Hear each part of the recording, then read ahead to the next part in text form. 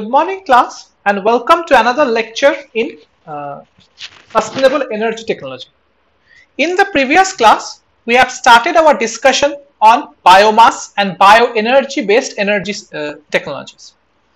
And we uh, ended our discussion in the last class on various types of commercial biomass, including liquid biomass biofuels like bioethanol and biodiesel and biojet fuels, solid biomass fuels like wood pellets, and gaseous biomass fuels like biogas. We also discussed the important concept of the net energy ratio, which is the ratio of the energy that you are getting out of the biofuel by energy required to produce the biofuel or to generate the biofuel in the first place. So in this context, let us discuss the various types of biomass bio, from different biomass sources and their relative advantages and disadvantages. Firstly, we will look at two very common types of biofuels that are used in the transportation technology, which is bioethanol and biodiesel. Now, the interesting and the challenging aspect of biomass energy systems is there is a wide variety of biomass sources that is available to be transformed into usable biofuels, solid, gaseous or liquid. So if you look at ethanol for example, you can produce ethanol from uh, uh, crops like corn or sugarcane or you can produce ethanol from a type of grass like switchgrass. Okay. So uh, basically what you do in this case and we will see later that we use a sort of fermentation process by which we ferment the sugars that is there in corn syrup or sugarcane syrup or in the switchgrass, uh, the carbohydrates that are present in switchgrass and convert them into ethanol. And it matters that we are sourcing your biofuel from which type of biomass resource.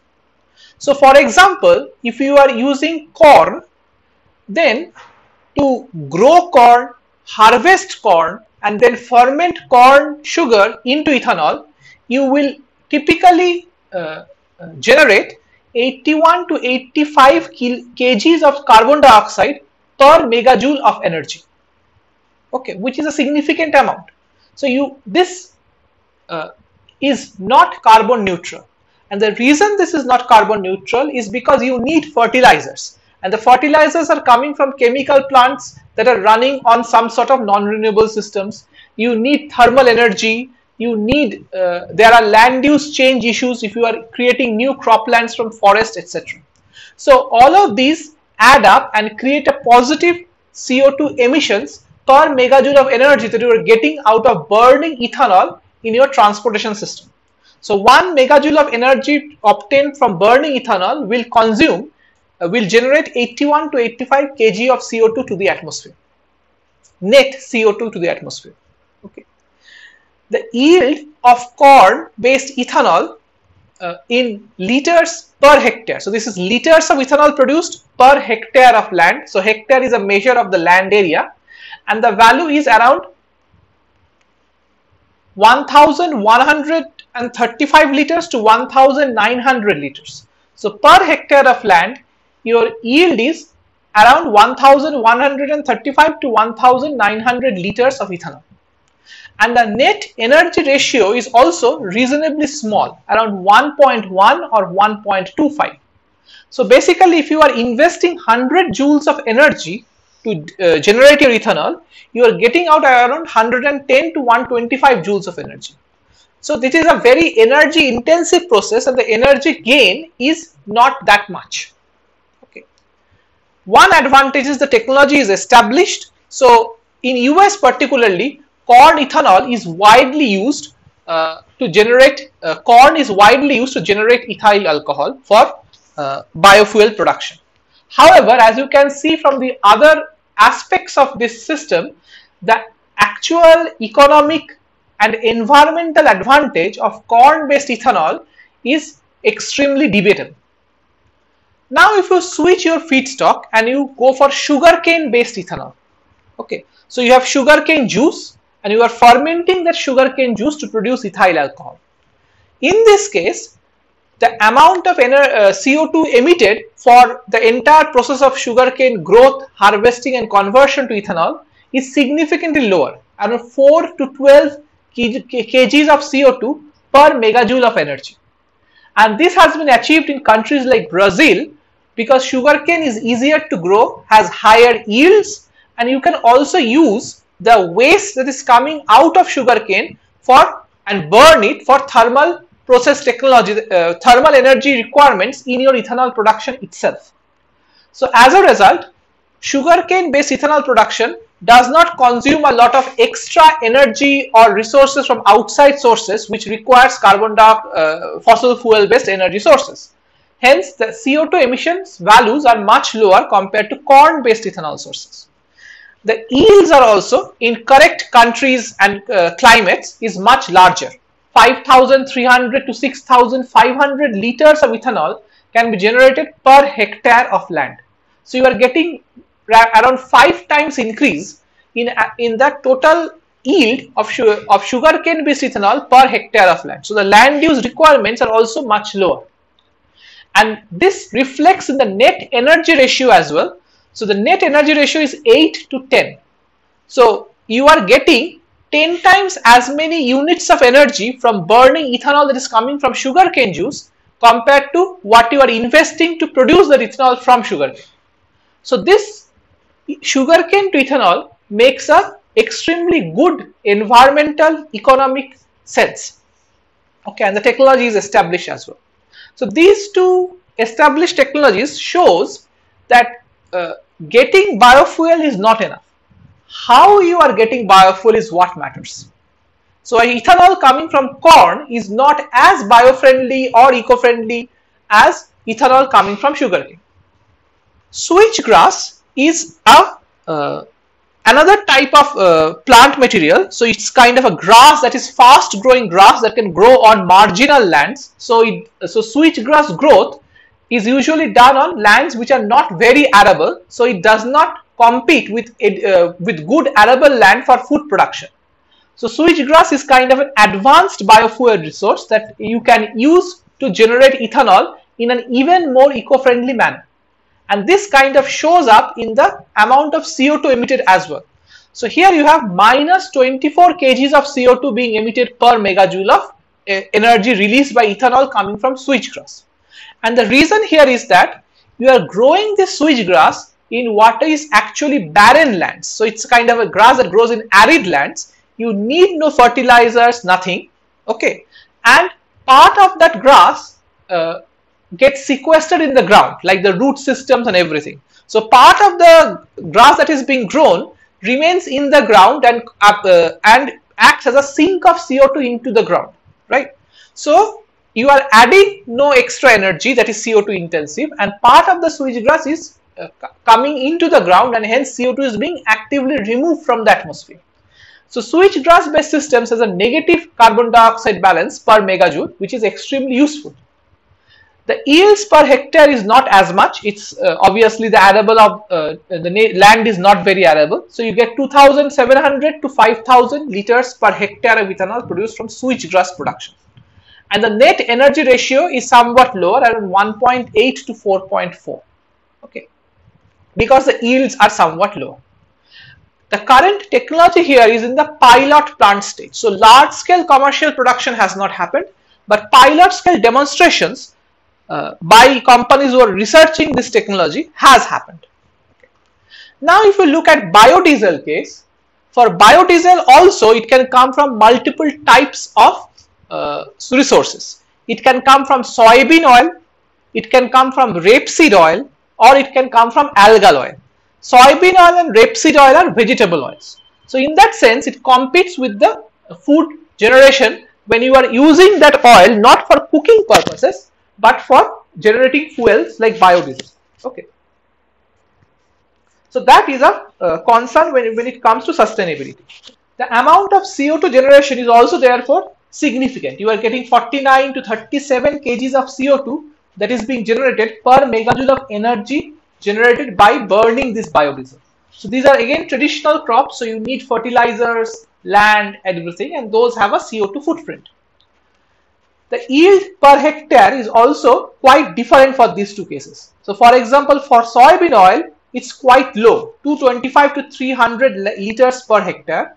For rapeseed oil, it's quite high, around 2700. The net energy ratios are also varying.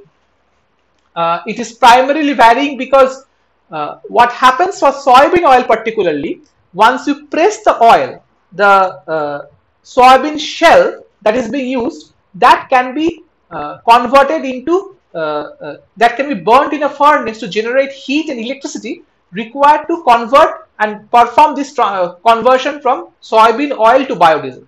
So that's why even though the yields are low, the net energy ratio can be high, especially if the waste soybean pods, etc. are used for energy generation. Rapeseed oil does not have as much of waste, so its energy ratios are somewhat smaller. So these are two are established technologies. Okay. Uh, one upcoming technology is algae-based biodiesel. So this is basically uh, uh, harvested in kind of uh, artificial tanks uh, where you are putting a water, you are getting open sunlight and the algae is growing in these artificial tanks when you put some nutrients. Okay. So these kinds of growth does not require a lot of land and does not require soil at all. And it can also often tolerate brackish water or wastewater, these kinds of algae. So it may be a, good option whenever, uh, especially because it does not compete with arable land and even does not compete with the fresh water, which is also in short supply in many parts of the world and the CO2 sequestration is very large because you are not using any traditional land or fertilizers. You are growing algae and part of this algae is sequestering the CO2 uh, uh, because you are only extracting the algal oil and the algae cells can be uh, buried and the CO2 hence removed from the ground that way. The yield per hectare, these are experimental values. Uh, the actual values may be far very different because this is still a, a laboratory based technology. So this kind of gives you the potential yield once this, this technology has received, uh, the research on this technology has reached maturation. So this is a, uh, a growing area of research. Okay. Uh, some of my students also is working on extracting oil from these kinds of autotrophic bacteria and algae and trying to see whether these uh, uh, algal oils can generate biodiesel in good quantities. So this is a topic of active research by many researchers in this field and hence these yields are you can think of as potential yields rather than actual yields that are seen in the laboratory scale. So you can see that net energy ratios varies a lot and one note of caution in this point if you see different reports you will also get very different estimates of this net energy ratios or the CO2 yields, CO2 emissions or the yields because these things depend a lot on the way you are using the land, the way you are growing the crops or the algae, way you are harvesting them and when you are processing them. So it's very site specific, process specific, technology specific and hence different papers when reviewing results often come to different conclusions regarding these yields, CO2 emissions and net energy ratio. So you need to be sensitive about those aspects. So this kind of shows how uh, you can use different feedstocks to get different types of biofuels and how that impacts the sustainability and the greenhouse gas impact of these biofuels. Now we will look at some of the uh, some of the major properties of the biofuels when you are uh, using them as combustion sources. So the most important property is what is called heating value, which is how much heat is being liberated when you burn 1 kg of that substance. Okay. So for example, anthracite coal has a heating value of 32,000 Okay. Methane has a heating value of 50 to 60,000. This is all in kilojoules per kg. So you can compare uh, these solid biomass materials with anthracite coal, which is a very classic fossil fuel based solid fuel. Okay. So you can see if you look at rice husk, which is the shell of the rice pods basically, this when dried has a heating value of 13.9 13,900 kilojoules per kg or around 14,000 kilojoules per kg. When it's wet, the moisture absorbs a lot of the heat that is being generated and this cannot contribute effectively. So the wet rice husk has a heating value of 9,000 around 9,000 kilojoules per kg. When you look at uh, uh, another kind of a waste agricultural agrarian resource which is bagasse. It's the waste from uh, sugarcane uh, processing. So uh, sugarcane processing bagasse, it, it can also be dry or it can be wet and dry sugarcane bagasse has 17,000 kilojoules per kg of energy. Wet sugarcane bagasse has 11,000 kilojoules per kg of energy. So in these cases, when sugarcane bagasse is available, you are using the sugarcane bagasse itself to generate the power and the heat needed for to run your process of trans transforming sugarcane juice into ethanol. So that is why using this improves the net energy ratio, improves the yield and improves the sustainability of the process. So you should use this in, for those purposes. Then you have dry wood which is around 18.5 megajoules per kg. Then wood chips which is 13.6 megajoules per kg uh, corn stover, again a waste from corn uh, agriculture. Dry is around 17,500, wet is around 12,000. Municipal solid waste, uh, this is kind of the waste material that is collected by the municipality from various houses and homes. It has a much lower heating value of 4,000 to 8,000 kilojoules per kg. And you can compare all of this to anthracite coal, which whose heating value is 32,000 kilojoules per kg. So what it means is when you burn anthracite coal 1 kg of it, you get 32,000 kilojoules of energy. So you can see when you compare coal with various biomass, clearly biomass has much lower specific energy content, that is energy content per unit mass compared to coal. So when you are trying to replace coal with solid biomass like wood pellets etc., you need to keep this in mind that you will need to add more uh, uh, biomass material than you would necessarily require to add coal to generate the same amount of energy because biomass materials have, lower energy than coal.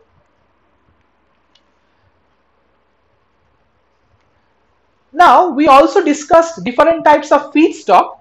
Uh, now the renewability of these feedstocks is also an issue because it takes some time for the crops to grow, for the trees to mature, etc.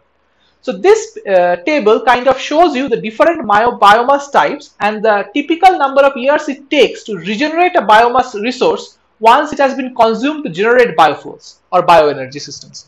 So one is uh, like switchgrass, corn, sugarcane. So these three things right here. So these take typically half a year or six months to regenerate. So the turnover time is quick. So you can get two crops and hence two batches of ethanol per year. If you now go from uh, uh, grasses and crops to uh, wood, you can have different types of wood. You can have fast, fast growing timber. So these are usually used in agroforestry industry where they have these plantations of fast growing trees that mature fast which you can cut down to use it for wood material. So these fast growing timbers take 2 to 3 years to regenerate. When you look at forest timber, however, it takes 25 years for forest timber to regenerate. And if you are going from temperate or polar regions, colder regions, it may take 91 years for forest timbers to regenerate.